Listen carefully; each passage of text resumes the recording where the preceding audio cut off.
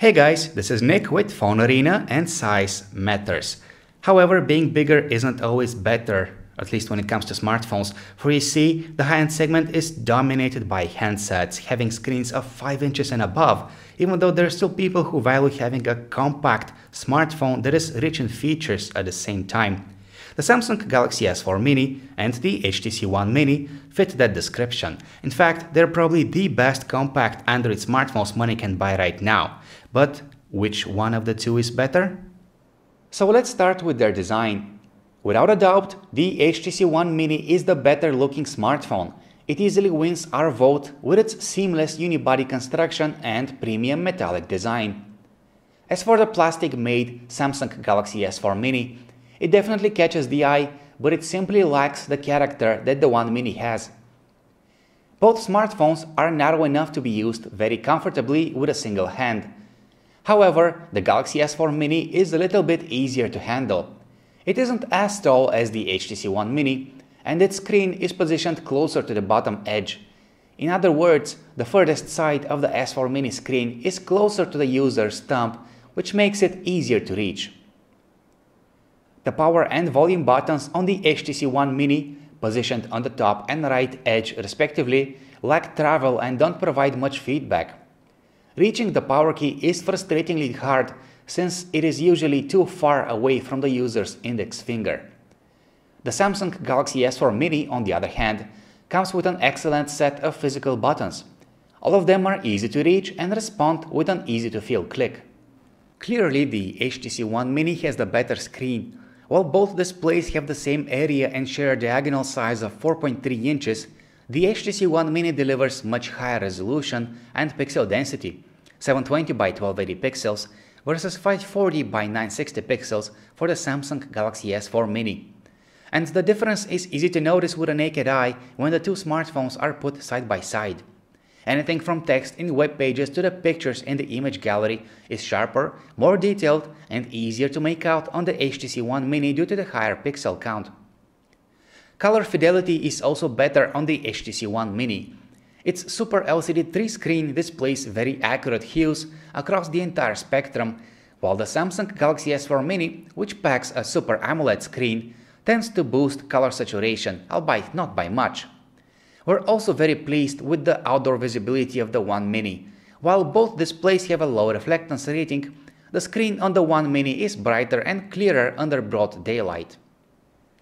Android 4.2.2, that's the operating system of choice coming pre-installed on both the Samsung Galaxy S4 Mini and the HTC One Mini.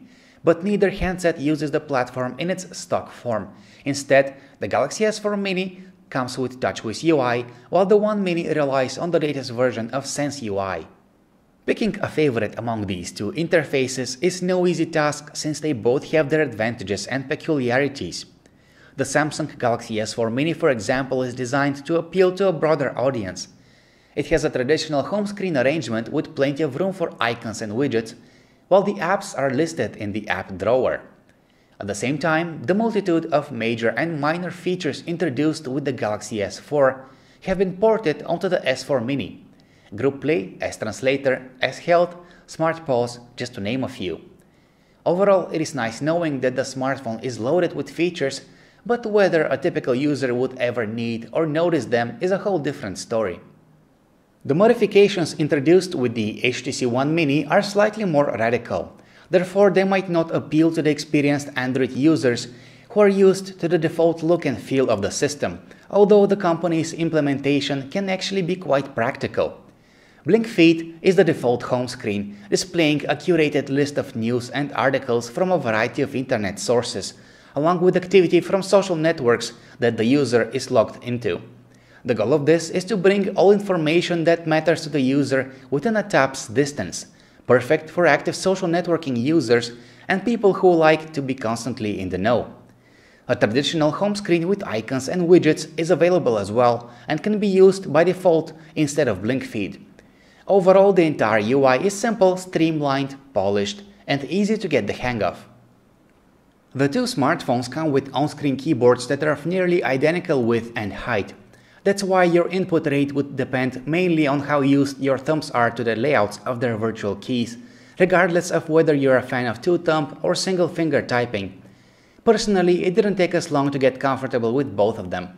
The keyboards are definitely responsive enough to keep up with our fast fingers. Even though both smartphones have the same dual-core Snapdragon 400 chip handling all the computations, the Samsung Galaxy S4 Mini can provide slightly more raw processing power. That's because its CPU can sprint at up to 1.7 GHz, while the HTC One Mini has its processor cores capped lower at 1.4 GHz. Moreover, Samsung's handset packs 1.5 GB of RAM, while there's only 1 GB for the One Mini. Having all that in mind, one might assume that the Samsung Galaxy S4 Mini feels faster and more responsive while being used, but in reality we can't see much of a performance difference between the two. In fact, the S4 Mini might start dropping frames if its home screens are loaded with more widgets and shortcuts than needed, while the One Mini retains its smoothness at all times. In heavy 3D gaming scenarios, however, the Galaxy S4 Mini has the upper hand not only because of the higher clock speed, but due to the lower resolution of its screen. As a result, there are less pixels that need to be driven, which produces higher frame rates. Nevertheless, rest assured that even the latest, most intense 3D titles would run just fine on both handsets.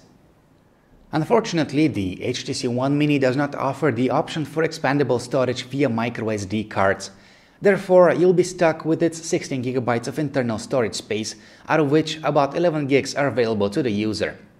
That's not a low amount by any means, but it will surely run out fast for those who like to carry around photos, music, and other media on their device. The Samsung Galaxy S4 Mini does have just 8GB of built-in storage, about half of which is user accessible, but its microSD card slot can accommodate cards of up to 64 gigs in size. Both the Samsung Galaxy S4 Mini and the HTC One Mini come with very fast web browsers, but the One Mini has the advantage of having a high resolution screen. As a result, small text in pages is sharper and easier to read. A potentially handy feature found on the HTC One Mini and not on the S4 Mini is Adobe Flash support. However, the plugin doesn't work perfectly on all web pages, which explains why it is turned off by default. Samsung has taken a conventional approach by equipping an 8-megapixel autofocus camera on the Galaxy S4 Mini along with a single LED flash. The camera user interface is easy to navigate and it offers lots of handy camera modes, including burst shot, night shot and HDR. Shutter lag isn't an issue as the camera focuses quickly and captures the frame as soon as the button is tapped. The HTC One Mini however has a camera with only 4 megapixels of resolution in native 16 by 9 ratio, but the sensor itself, being of the ultra-pixel variety, is made of much larger pixels. Theoretically, that should boost the camera's low light performance, even though the level of detail captured in each frame might be reduced. The camera user interface has not been designed the best way possible. Mode settings and adjustments are listed in a single menu with multiple submenus that you have to scroll through until you get to the item you're searching for. But that aside, the HTC One Mini also offers HDR and night modes, along with a cool slow motion setting while shooting videos. Like the S4 Mini, it exhibits minimal shutter lag, which is important for capturing events as they happen. In reality, daytime photos produced with these two smartphones turn out equally good and have the same neutral color balance. The Samsung Galaxy S4 Mini has the advantage of packing more megapixels, which is why its photos are more detailed when you zoom in but the HTC One Mini has a wider field of view, so it can capture a wider frame from the same distance. Shooting indoors, however, yields unimpressive results. The photos from the HTC One Mini lack detail, while the S4 Mini often fails to set the right color balance. Both smartphones are capable of recording high-quality video at 1080p resolution, but the Samsung Galaxy S4 Mini is slightly better at it than the HTC One Mini. As our samples demonstrate, the daytime videos from the S4 Mini are more detailed, while its low-light videos are much smoother. The HTC One Mini just cannot capture as much detail in broad daylight, while its low-light videos look as if they were recorded at a frame rate way below 30 frames per second. The Samsung Galaxy S4 Mini comes with a custom audio player application loaded with features. You get the mandatory lock screen controls and a rich selection of audio enhancements, such as the Sound Alive equalizer, a bass booster, and Adapt Sound that fine-tunes the sound for you. The music player on the HTC One Mini has a pretty similar feature set and is just as good. Again, music playback can be controlled even from the lock screen and you get Beats audio sound enhancements, SoundHound integration and audio visualizer. The HTC One Mini has the upper hand when it comes to watching videos. It has much broader support across many popular file formats, a high resolution screen producing more detail, and a set of outstanding front-facing stereo speakers. The Samsung Galaxy S4 Mini doesn't support QuickTime or DivX videos, but it does come with the pop-up play feature, allowing videos to be played back in a window hovering above the user interface. When it comes to phone calls, the Samsung Galaxy S4 Mini has a good sounding earpiece. If needed, its volume output can be boosted with the tap of a button, but doing so takes a toll on sound quality.